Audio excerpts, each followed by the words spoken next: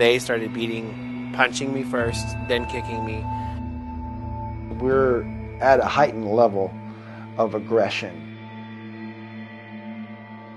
I remember looking into that face.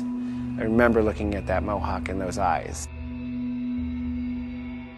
I kicked him in the forehead, and he was out.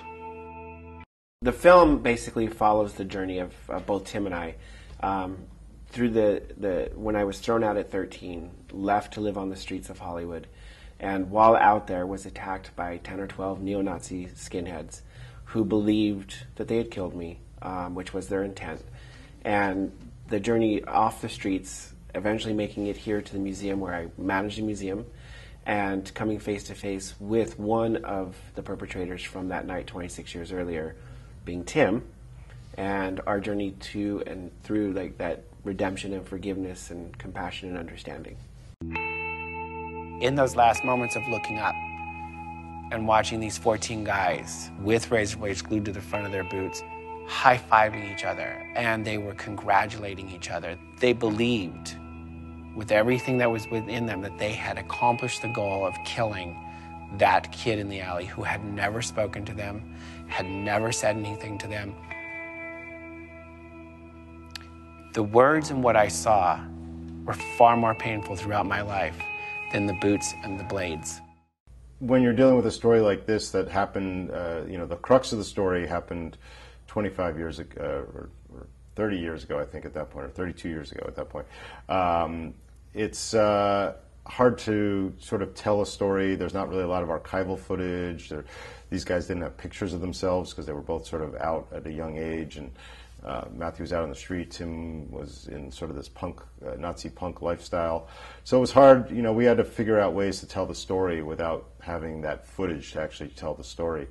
Um, so that was that was a challenge for the sort of the first half, and then, you know, and then the other challenge was just trying to really uh, dig deeper with these guys and build some trust and, and really explore this process of forgiveness that they had been going through for six or seven years at that point. Here is where Tim and I ran into each other again, which is I always say there's no coincidence uh, for for this story. There's just it's just it was meant to be. He was here a few years before I came, and then when I came on the scene, he was working, and I had conversations with him for several months. I did not physically recognize him. It was through a conversation we were having across the street, actually, and talking about past lives and where we hung out, and that's where the story of the hamburger stand came up. And that's when we realized who the other one uh, was to each other.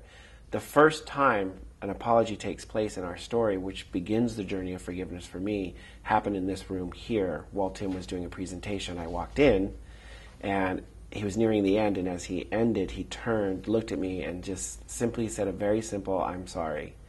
And that's where the story of forgiveness really takes place, because that's where that journey began. I had an idea going in that I wanted to tell their full story and, and, and really look at what their forgiveness process was and what they went through and their inner struggle and all that. So until um, I started doing the interviews and, and until I felt comfortable enough, or actually they felt comfortable enough with me to open up uh, and really share their whole story. I think then I kind of started feeling like, yeah, we, we, we have something here. These guys are really um, telling me everything that, that, that you would want to hear and maybe they haven't talked about before. You know, I went through most of my life thinking that, that, that I had killed this person, or at least not knowing. Tell you the truth, I don't know if I could forgive somebody the way he's been able to forgive me. I think it's possible for anybody to change. It is not easy. It is. It takes a willingness to to do the work that it takes. For him to do what he did and to change his life, I respect the courage that it took him, um, the challenges that he had to face, the dangers of leaving the movement. Um, and so, in, in, in all of that, and in, in talking to him about all of that, is and seeing that change, I actually realize there's things in my life I can change.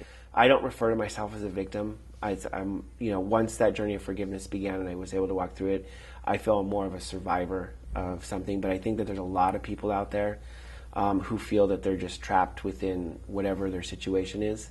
Um, and I love the fact that he focused more on there is an answer. It is your own journey, but there is a possibility.